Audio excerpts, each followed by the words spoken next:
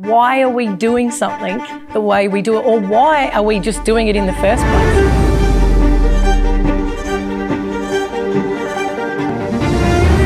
Can we change things for the planet, for the customer, reimagine the way that we do things? Don't be afraid to ask questions and don't be afraid to ask the why. Because if you can understand the why, that allows you to then problem solve and come up with other solutions. Or maybe you've got a better idea as to how to do something. Sometimes you've got to get out into the environment to understand, to hear people and hear their perspective. Don't be afraid of change, embrace it.